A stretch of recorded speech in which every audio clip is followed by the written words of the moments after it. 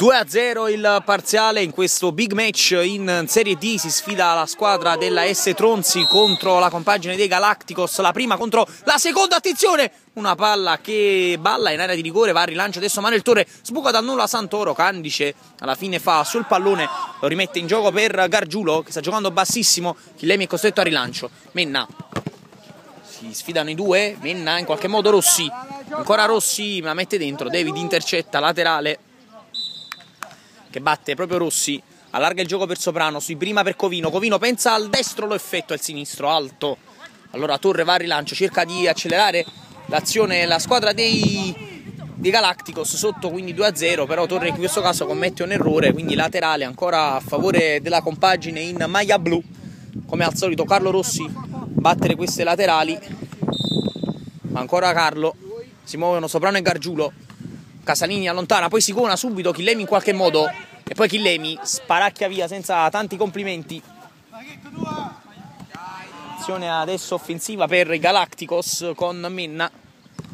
La gittata lunga a cercare Sicona il movimento di Santoro, poi alla fine Soprano, Gargiulo allarga per Rossi, Rossi aspetta il movimento di Covino, Rossi si gira, David lo ferma, ancora Rossi per Covino, uno sguardo al centro, arriva il cross, Gargiulo, Gargiulo! 3 a 0! Ci pensa Bomber. Che fa? Ci sta dedico, mi sa che stiamo dedico. Ci ha abbracciato. La panza. Ci ha abbracciato la mia pancia. 3 a 0, Gargiulo. Galacticos eh, davvero un po' allo sbando. Nonostante il loro buon gioco. Bello il gioco di gambe qui di, di Cafasso. Va Comparini a battere la laterale.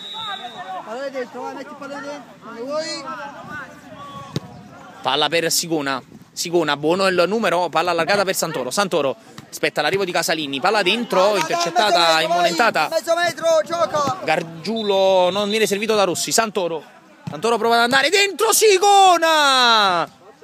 Si divora un gol fatto. Ultima azione, Candice, lungo lancio. David all'indietro. Blocca Torre. Poi la palla dentro, Santoro, Santoro prova a illuminare lui il gioco allora, Santoro prova ad andare in mezzo a due, viene fermato, poi Lemi col tacco libera, Rossi tunnel a Casalini, poi recupera anche il pallone contro Menna, riesce a giocarlo, forze da terra, Gargiulo se ne va in mezzo a due, c'è il fallo.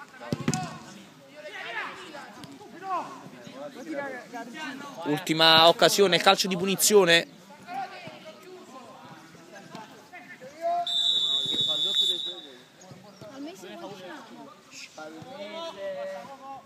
Vedremo Chillemi, così si crederà simpatico il ragazzo.